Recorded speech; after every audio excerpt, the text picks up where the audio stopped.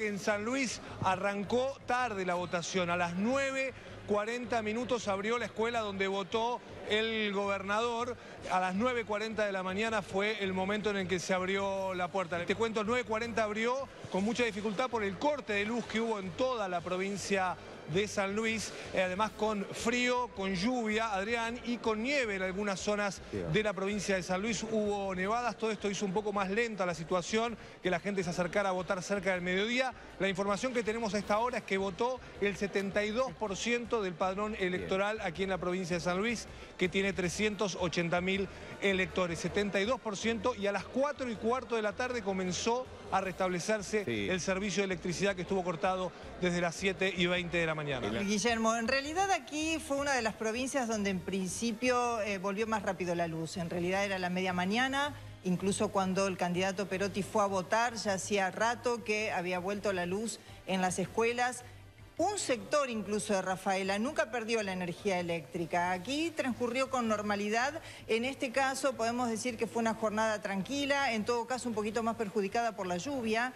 Hay que ver que la gente también comenzó a llegar más tarde a votar, a eso del mediodía. Sí se podía ver en las escuelas un poco más de concurrencia. Estimamos que era un poco porque fueron más tarde por el apagón, pero también porque estaban adelantando el voto por un día tan especial como el Día del Padre, en un lugar tranquilo como Rafael donde además se almuerza en familia, donde se duerme la siesta si se puede. Entonces allí había alrededor de las 12 del mediodía una gran concentración de votantes y eh, estimamos que también antes del cierre de las 6 de la tarde. Por supuesto que quien esté adentro de la escuela, por más que se haga eh, más allá de las 18 horas, se vota, se cierra la escuela, pero se vota. En cuanto al, cuento, al recuento de votos, se estima que va a ser lento, pero esto tiene más que ver con la paridad de los candidatos, en este caso de Perotti y también de Bonfatti, como indican algunas de las encuestas, y ahí el voto a voto va a, tener que ver y se va a tener que contar con mucho cuidado. Esperamos igual que alrededor de la medianoche ya haya una tendencia clara, irreversible. Ha habido incluso una cantidad de votantes, a pesar del apagón y a pesar de la lluvia, mayor que en las pasos, aproximadamente un 71% del padrón, se acercó a las escuelas a, emitir su voto. Así que una elección que ha despertado mucho interés, pero también ha generado mucha expectativa por lo que te decía, este cabeza a cabeza de los principales candidatos. Y ahora nos vamos al sur, a Tierra del Fuego, la única provincia que no tuvo corte, con Nuria González Rouco. Hola Adrián, ¿cómo están? Buenas tardes. Y la única provincia que no tuvo cortes de luz ni tampoco lluvia, así que fuimos doblemente afortunados, le diría, en el día de estas elecciones. Aquí también a las 18 horas ya cerraron todas las escuelas, cerraron los comicios.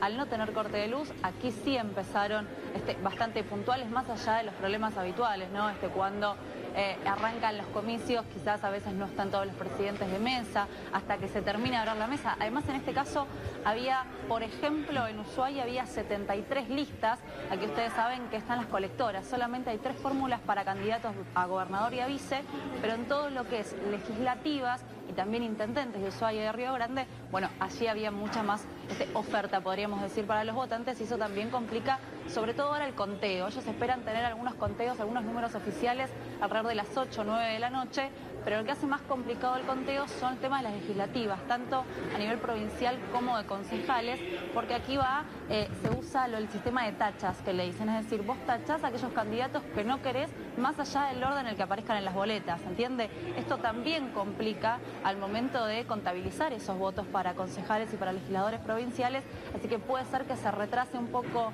los números, pero más o menos para las 8 o 9 de la noche puede ser que ya empecemos a tener algunos números ya oficiales aquí en Tierra del Fuego y una votación también este, muy, muy dividida, prácticamente voto a voto que se irá definiendo seguramente en las próximas horas cerraron los comicios eh, también lo que fue un día agitado porque todos nos sorprendimos con el corte de suministro eléctrico y eh, la desorientación por parte incluso de las autoridades de mesa, ¿no? Cuando llegamos a la escuela eh, y no sabían cómo iban a resolverlo, qué iba a pasar, porque este, estuvimos ahí, fuimos testigos del momento en que intentaban abrir este, las, los cuartos oscuros para este, armar las boletas y demás, y se iluminaban con los teléfonos celulares, con algunas linternas para tratar de desplegar lo mismo que decía Nuria, ¿eh? este, la enorme cantidad de boletas, más de 70, porque aquí también hay tres candidatos. Sildo Infran, que es el gobernador del Frente de la Victoria,